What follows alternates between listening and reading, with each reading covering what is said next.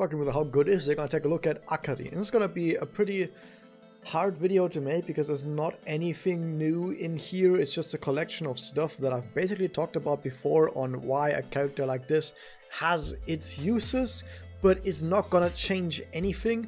Basically, if you just take a look at my, I want to say my final title review, but that review was so early that was actually not representative of the entire character at all. I think my normal title review, I think, was more on the point. Or better yet, just go to the last last character that I did that wasn't uh, Kyoko, the Doppel Kyoko. Okay, basically, I'm gonna go through the unit and I'm gonna tell you what it is about this kind of unit that you know is the way it is. So first off, I'm just gonna quick immediately go to the uh, personal. It has blast damage up, it has blast MP gain up. This is the kind of personal that just takes whatever the unit does well currently and adds a little bit more to it. And basically we're gonna see that this part right here doesn't matter at all, so all it does is give 35% blast damage on low attack, so just use any other offensive Force of Memoria instead. Basically, it's not that amazing. Now the stats are balanced, we have a Blast Gorilla, all three blasts pointing in the same direction, which is important, that's actually a good thing. Uh, and also defense is pretty alright, HP is decent. So we have some defensive stats here with a bit of a decent attack as well, looks alright so far. Connect is attack up, light attribute attack up, nothing special here, just use this character in a light team. You can kind of see how there's nothing too amazing here to fit, to talk about really. The uh, at Magia and the Doppel. The Doppel is just the same as the Magia, just a little bit stronger. So we're this is like the second unit in a row, maybe even the third unit in a row, where the Doppel just doesn't really do anything special compared to the Magia. It's just the Magia a bit stronger, which I thought we went I thought we went past that. I thought we got to the point where Doppels actually did some cool shit that Magias didn't do. But now for like three units in a row, we've gotten to the point where no, we're back there again. We're back where we were years ago. I don't know why. See, it gives defense up to self, light, light attack to self, damage up, blast damage up to self, which is the exact same thing that Magia already does, and it does add projectile damage in a line, which, yeah, whatever, it won't really matter. The point of this entire thing is it's an okay doppel, like the buffs from this are totally okay, they would be a lot better if it was for the entire team, but because it's just self buffs, they're just okay. And here's the thing, this is a character that's not going to use Doppel that often and it's going to take quite a long time to even get to the first Doppel. So the fact that the Doppel isn't even that great is already looking pretty shit, to be honest. So let's just ignore the Doppel, let's just assume the Doppel doesn't even exist. Moving on. We have MP gain up, which by the way, we're gonna have a, have a bunch of blast MP up and the MP gain up doesn't actually work for the blast MP gain up. That doesn't actually work, okay? It does not actually work. Do you see that pop up by the way? I'm gonna get rid of this. So the point about the, the blast MP up, the main reason why it's as bad as it is is simply the fact that the uh, the blast MP just doesn't increase it. You just have to take whatever it is that you have and you have to just be that, that's all you have. That's all you have. You have just the blast MP gain from it.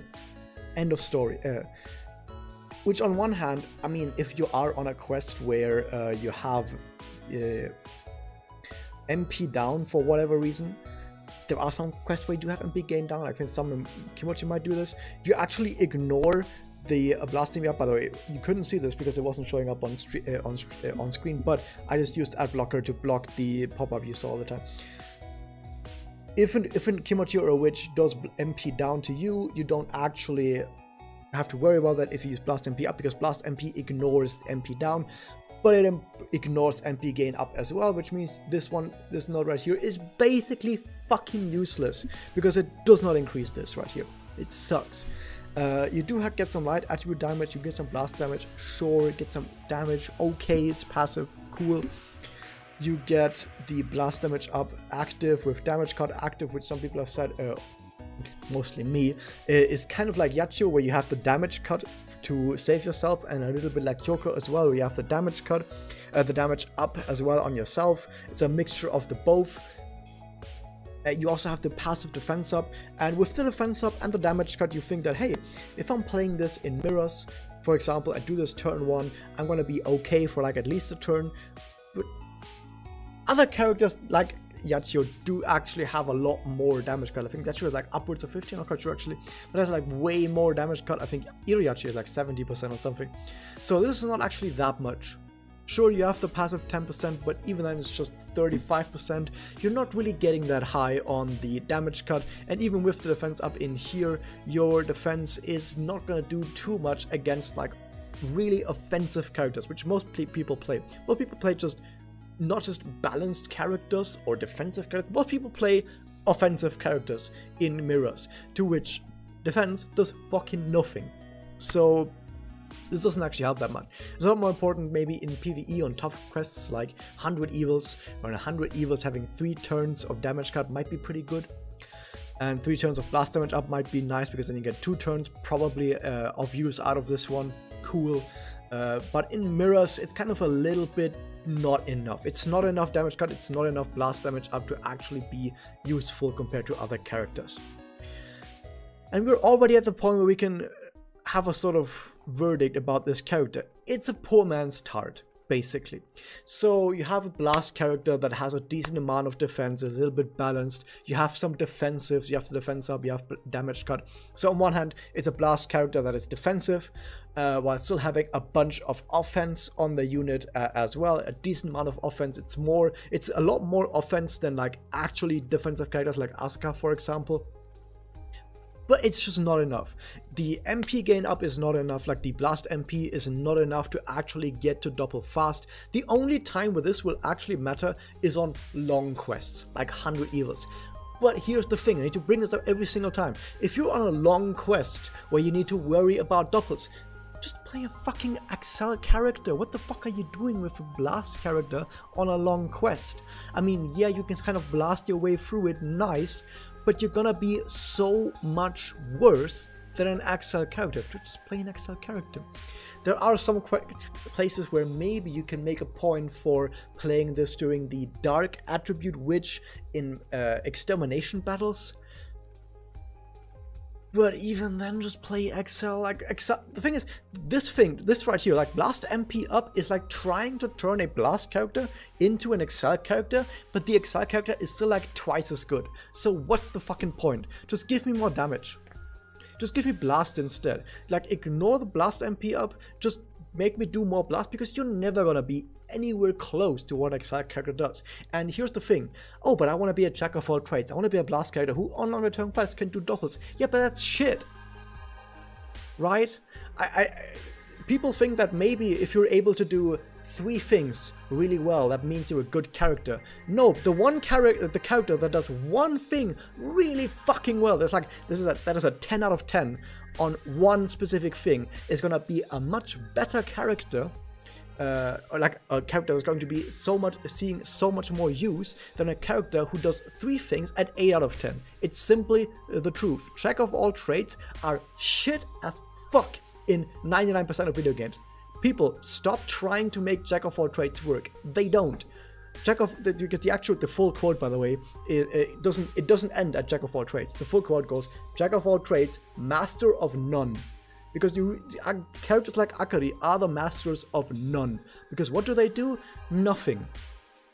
They do a bunch of things at like 80% power instead of committing to one thing to do 100% power and actually being good. Because here's the thing, Solo Mirrors, she's like the 7th to 8th best character for Solo Mirrors which is not good. There's so, like, regular Kyoko is way better, Summer Kyoko is way better, Mokyu, Yosu, there's so many characters out there. There's so much better. Ashley, Aniyachi, all of those blow Aki out of the water when it comes to solo mirrors. Even regular Yachiyo is probably better because you can actually use the damage cut to survive a turn, or with Akari, you might actually die because 25% is not enough.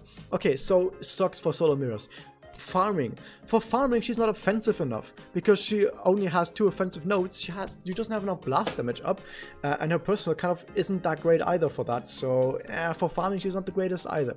At least she has three blasters in the same direction, which is good for solo stuff. For solo stuff, you want to have two in the same direction, but she's not the greatest for farming either, right? And what else is there? Oh, for longer term quests, you can use the blast MP up. Yeah, but just use Accel characters instead, right?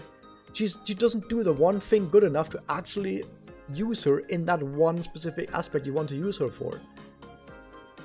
That said, because she does everything at like an 80% power, like let's say she does solo mirrors at 80% power, maybe you just don't have anyone else that actually has more than 80% power for solo mirrors, right? Maybe you don't even have a regular Yachiyo at level 100 force up, but you probably should.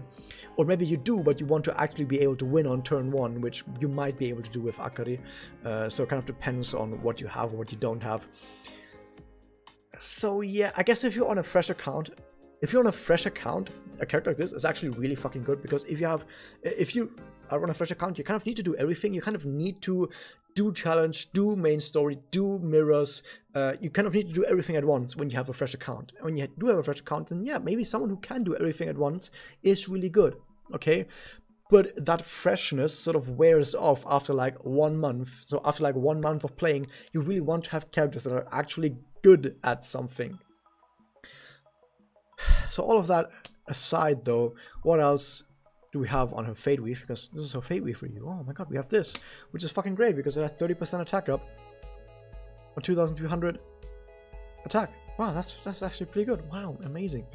Um, so yeah, I don't think there's any there's much else to say about this. There are some other effects on here, like the damage cut and the defense down. Like, yeah, there, there are places where this matters. Okay, there is um, there is mirrors. In mirrors, defense down could actually be used to basically give taunt to someone because enemies might attack the character with the low defense if they have no other super effective target. So yeah, you can kind of use this to try and direct enemy attacks, but for the most part, you're going to use this because it gives 30% attack up and a whole bunch of attack uh, base. So yeah, for that it's for that it's pretty good. It's an unlimited Memoria, so if you just randomly draw this in the gacha, in the SP gacha, you're gonna be really happy about this. It's one of the best ones probably to, to, to draw in the uh, normal gacha. That said, also at the same time, this gets added, and this is, I mean, it gives yourself attack down 25% and it gives defense up. So also you could use this in mirrors to guide enemy targets, but not really that important to actually give someone high defense when it also gives attack down for targeting. Um, gives damage cut. So yeah, extremely defensive, extremely defensive, but I said this before during the uh, during the news. There's no point where you actually want to be this defensive on any character. Even high defense tanks don't ever want to gimp their own attack this fucking hard for no reason. So, uh, yeah, kind of terrible. This is overall terrible. I just want to do mirror shenanigans. Well, this is fantastic, especially for mirror shenanigans. So overall, this Memoria is absolutely great. This is terrible, and Akari is... Uh... So that's that. Hope you guys enjoyed this. Subscribe button, ring the bell, and I'll see you guys next time.